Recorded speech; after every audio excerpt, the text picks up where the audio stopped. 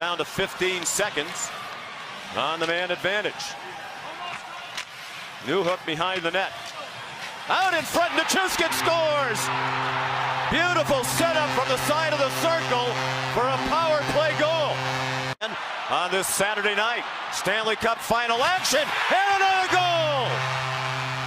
Josh Manson, the defenseman, makes it two to nothing. And the captain couldn't tip it in for Colorado. Cale Makar. Across for Devon Toews. And up for Burakovsky. Now a shot right out of the rebound goal. Burakovsky. Team in the NHL in the regular season.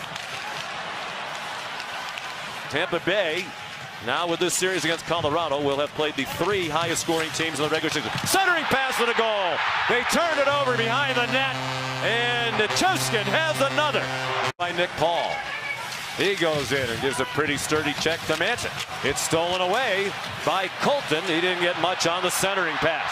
Helm has some open ice. Helm takes a shot and scores!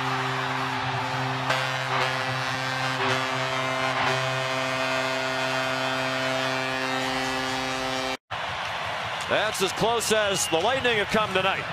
And Point couldn't control it. Here's a two-on-one break. Makar with Cogliano. Makar scores! They're doing it all. That's a shorthanded goal and a 6-0 lead. Ruda determined to get into the slot. Now leaves it for Makar. MacKinnon Makar. MacKinnon. it. Makar! He scores!